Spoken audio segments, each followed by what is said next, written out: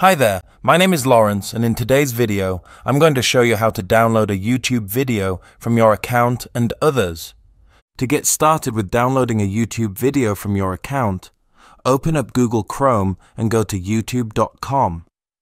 Once you arrive on YouTube, click on your profile picture in the top right corner of YouTube and click on the YouTube Studio option from the menu.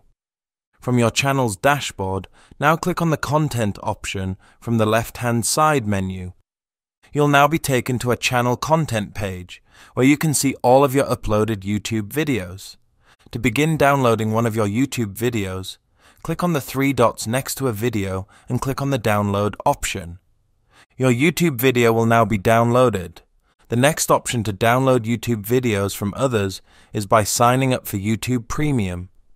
YouTube Premium offers a comprehensive subscription service that combines ad free viewing, exclusive content, music streaming, offline playback, and additional features to enhance your YouTube experience.